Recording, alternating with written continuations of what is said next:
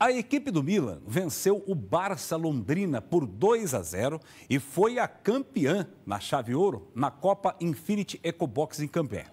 Na prata, os Galácticos ganharam do Boleirage nos pênaltis. E aí você já está vendo a disputa de pênaltis da chave prata nesse torneio que foi um espetáculo, um sucesso de público. Obrigado ao Alain e a todos os organizadores lá deste evento que também passaram aqui na tela do primeira hora. Bateu o pênalti, rapaz, o goleiro desviou, foi para trás e foi embora.